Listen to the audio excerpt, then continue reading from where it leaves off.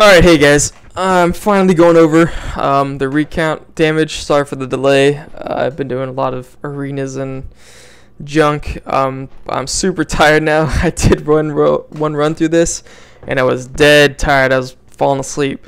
So I'm trying to wake up and do it again before the weekend's over because I need to get this video out to you guys. Been waiting. Um, sorry for, yeah it was bad that I delayed. I was doing a bunch I was doing a bunch of arena games a lot of this most of the data data is from arenas running turbo cleave I did the data I did tests um, with um, with elemental blast also and also running with a retribution paladin and resto druid on um, I don't know if you if you're watching oh yeah if you're watching my streams by the way I have been streaming on Twitch uh, TV, twitch.tv slash Hubrix, the this guy, my main character. Um, the, the videos are saved and recorded on there, so if you want to go through them, skip through to the uh, arena games, uh, there's some pretty good ones, some pretty bad ones, and terrible and embarrassing ones.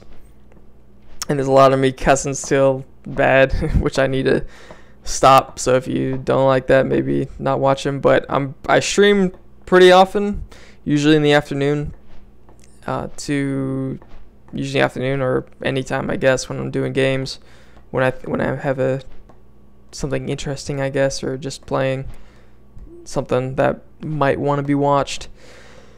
So you go check those out. But I'm gonna go over the recount damage right now. First, I gotta go through some things. I'm gonna go through each of these sources and kind of discuss okay what's affected by mastery, what's affected by haste, and then I'm gonna kind of add them up. Lightning shield, it's affected totally or not totally. Never mind. Sorry. Okay, I gotta just restart that. Lightning shield's pretty complicated. Part so a lot of it, most of it actually, probably about half of it comes from being attacked, from the defensive proc on it. Probably a fifth of it or so comes from your Storm Strike, and your Lava Lash static sh shock procs. And the rest, probably about 7% of this 18.2%, comes from Unleash Fury procs from the level 90 talent.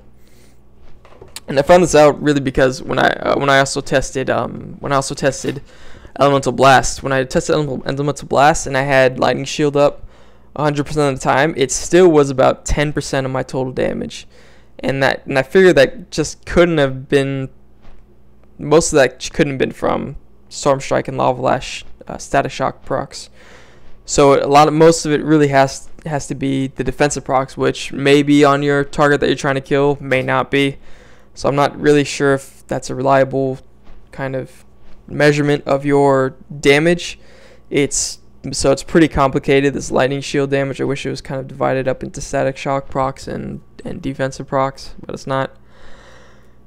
Um, melee, that's totally affected by haste, storm strike, neither haste nor mastery. Lava lash, that's I, I don't know. I'm not sure if if all the damage is affected by mastery, but I'm gonna kind of assume that it is. Um, by the way, storm strike and lava lash actually the global cooldowns uh, actually aren't shortened by haste as I thought they were because they're melee attacks and and physical attacks aren't shortened by global or shortened by haste. The global cooldowns uh, just spell, but all your spells and all your totems, every other ability, uh, every other ability's global is shortened by haste, but not Storm Strike and Lava Lash. Um, so next Wind Fury attack, probably about 7% of that 8.4% is affected by haste because some of the procs come from Storm Strike, though probably not too many. Most of it probably is from auto attacks. Storm Strike offhand, Wind Lash, that's your Ascendance auto attack. 5.2%, it's a pretty big chunk. That's affected by both haste and mastery. Storm Blast, that's what Storm Strike changes changes into. That's 5%. Frost Shock, 4.1%. Storm Blast offhand, 2.5%. It's pretty interesting that this, the Ascendant's auto attacks do more damage than Storm Strike. Um, your Storm Strike damage is actually more than your melee damage, which is pretty really interesting, but that's not the case for some reason for the Ascendance damage for some reason. Actually, that does see. Oh, actually, that's that's because you can't miss. That's because you can't miss with auto attacks um, while in Ascendance mode. So your Windlash, so your auto attack damage is actually pretty huge. So if, so in terms of in terms of ascendance damage, it's probably almost a push. How uh, uh, between haste and mastery and increasing your ascendance damage, your storm blast is totally affected. Is just total totally um, uh, mastery though plus crit maybe. And storm blast is a pretty huge hit. Uh, the two times that you can use it while in ascendance. So we're gonna go to storm blast offhand. That's the that's oh, oh no actually actually never mind. Yeah, storm blast and storm blast blast offhand. So the auto attacks and the Storm Blast attacks are actually equal. Which is interesting. So that's so that's definite. So that's, definitely that means that definitely more of it comes from mastery. That mastery will definitely increase more increase your ascendance damage by more than your haste than your haste than haste will.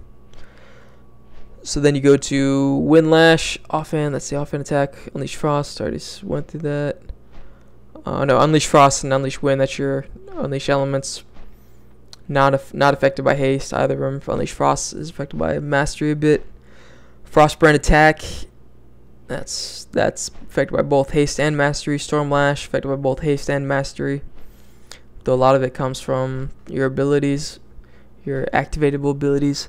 Lightning Bolt, 0.8%, both haste and mastery probably equal, equally affected by it uh, Earth Shock, Flame Shock, yeah.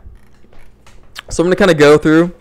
I've done this several times with several builds um, for from data that I collected from battlegrounds and arenas mixed together, and I always always come out to about the same percent of damage that's affected by haste versus damage that's affected by mastery. So first I'm gonna go through haste. Lightning Shield, I'm gonna take about 7% of that. 18.2% is affected by haste.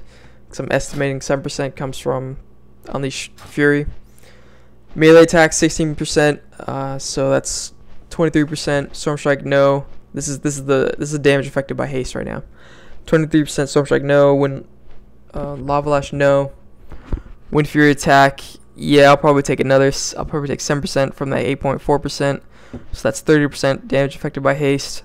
Storm Strike offhand no. Wind Lash um, 52 5.2 so that's what was that was there at 30%. So 35.2%. Stormblast, no. Frost Shock, no. Stormblast, offhand, no. Windlash, offhand, yeah. So 22.4 is 37.6%. Unleash Frost, no. No. No. Stormlash, I'll probably take 1% of that. So 38.6%. Lightning Bolt, 8% or 0.8%. Um, was I at 36.8%? I don't know. 37. No, I was at 37.8%. So that's about 38.8%. About, I forgot. I'm really tired right now. I'm just going through it. It's 38.8%. Earth shock. No, no, no, no. It's actually less than I got last time when I added it up. That's because I'm taking different weights. I'm just like guessing on different weights to take the percents. So, but usually it's about 40% of the damage is affected by haste that I come out to think. I think I missed something actually. I think I missed the Windlash offhand. Yeah, I did. I'll actually go through that again. Okay, 7% from Lightning Shield. Melee 16, so it's 23. Wind Fury 7 from that, so it's 30. 35.8% from Storm Strike. No, not that. 35.2% from Windlash. Um, 37.6% from Windlash offhand. 39.9% from Frostbrand attack. That's it. 40.9%. I added 1% from Stormlash. And 0.8. So 41.7% uh, after Lightning Bolt. All right, so there, that was closer. 41.7% from is affected of the of this damage is affected by haste. Yes, good joy and go. So I'm gonna go through mastery next. I'll probably take 10% of this lightning shield damage because I'm, inclu I'm going to include the storm strike and lava lash static shock procs.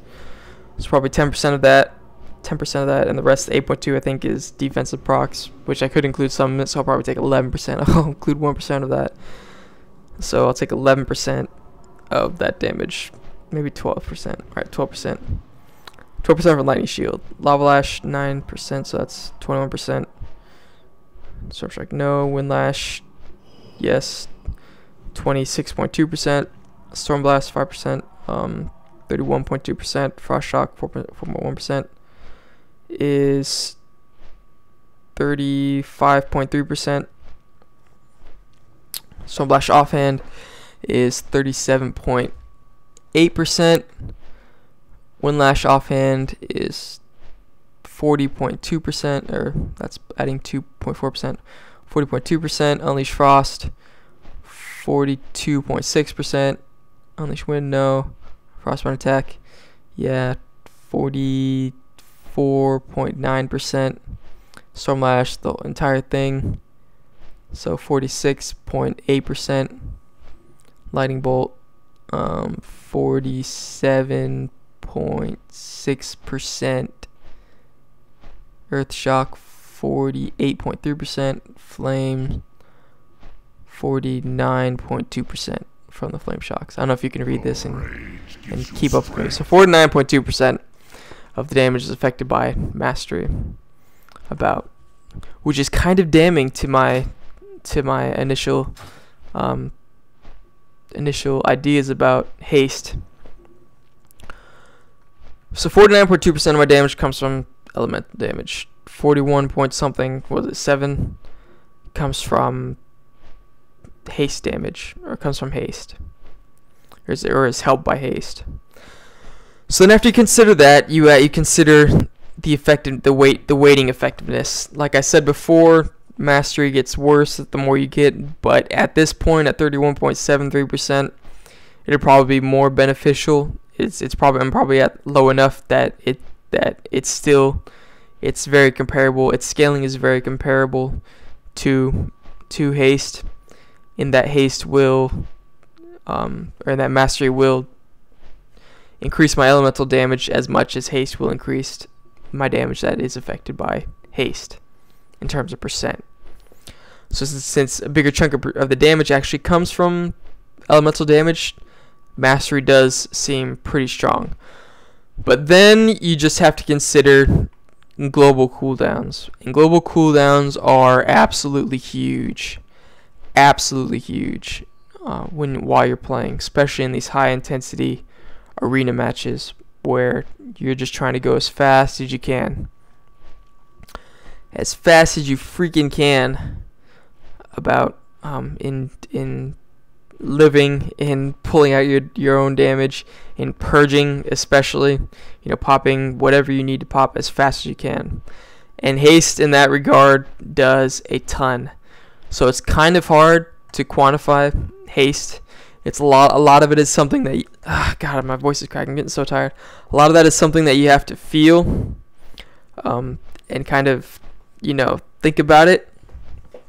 But after going through all this data, I think I am gonna start stacking a little bit more. At least a little. I'm still gonna stack haste, and still gonna get a good amount of crit. I'll go crit soon, but I think I'm gonna start putting a little bit more into mastery because you know as you notice a lot of this you have melee attacks which aren't going to help you take something down much very much they're not going to it's not mastery affects your burst really besides storm strike storm strike does probably the most amount of, most of your damage while playing but neither haste nor mastery affects storm strike damage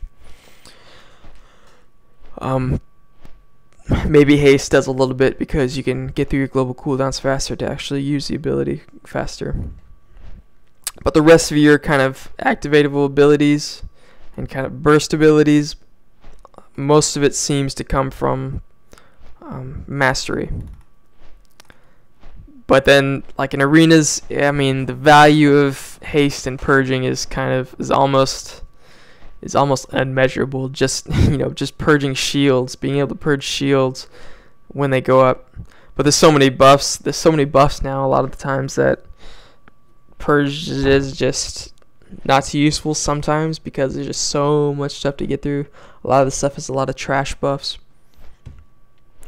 But I will think about it. I'll think about how how it'll go down, and I'll I'm gonna be trying mastery soon, or yeah, next time I go through it. Probably now. I'll probably go reforge now some of the stuff.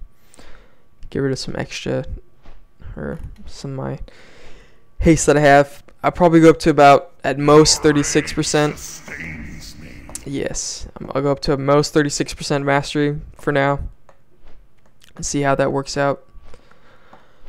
Because because like I said in the other video, if you watched it, then you have to measure, you know, how much how much of my current damage are these stats actually going to increase. And that brings me to crit. So as you see, more a bit more than half of my damage is affected by mastery. And crit increases at this point crit increases my elemental damage by about 65% of the effectiveness that mastery does. Crit helps it about 65% as much as mastery helps it. Which is which is not that big. Um, but it's still a pretty good amount. And then also on top of that, crit increases the damage of my melee attacks and my and my storm strike, which are the biggest two um, components of my damage. Plus, crit gives me the flurry, which further increases my melee attacks, which also increases my haste and shortens my global cooldowns. So enhance is actually a crazy beautiful beautiful beast that that it's hard to pin down you know what's good but i'm starting to think that just an even a pretty pretty even spread would be a pretty good idea for for now and for even probably all the way until the end of the season an even spread of bonus stats i'll think about it i'll go through more and i'll do some more testing and actually try it out in arenas and see how effective it is. Because I have been purge spamming and and there's some things like mages they can just spam spell steal, and if you're running with a resto druid or something, it's kind of bad. But if you're running with resto shaman, they're they're stealing like earth shield and stuff. It's really good to stack a lot of haste. So it can kind of depend, but I'm gonna try a little bit more mastery anyways. Oh yeah, the crit. I was getting to the crit. So crit is like 65% of as effective as mastery, increasing your elemental damage. Plus you consider, yeah, the physical attacks. So crit does seem better to me than haste, like even now at increasing your total damage. Your total damage, but not like, but that's, but that's perhaps not your burst damage. So it's kind of, it's pretty odd. It's pretty odd to do. I think I'm not, I don't have quite enough mastery. So I'll, I'll I'll buff that a little bit more. So you can get what you want from this. A lot of it does seem like personal playstyle. Still, like I said before, um, but I really don't like the feel of not stacking as much haste as I can, just because it just feels so slow, and I don't know if I'll be able to get as effect be as effective as I want to be. But I'll see. That's my initial take on the on the recount data and my stats. I'll probably do another take on it um, once I try shifting around some stats and stuff. And and once I get my offhand weapon, my melee damage is actually gonna increase by a lot. But it's also gonna increase my other damage a lot too, because there's a lot of PvP power. So yeah, that's my initial assessment. Um, is try stacking a little bit more mastery, and I'll see how that goes. All right, thanks for watching. Maybe you can try it along with me, and let you guys can let me know too, like what you think. I, have I've heard, a couple of you told me that you started started to stack haste and it's been working out really good for you, and that's what I think. Um, most people actually think, just because it feels so better and it's just, you know, it's a lot more versatile. But we'll see let me know what you guys think. How you if you've been trying out haste and compared to mastery and what you think about the two. And I'll be doing some more testing. All right, I've been rambling on enough. I gotta watch my show, watch my favorite show, and go to bed. so till next time, adios. Oh, watch my stream sometime. I'll probably stream tomorrow on Monday in the afternoon. Yeah, at twitch.tv slash All right, see you later.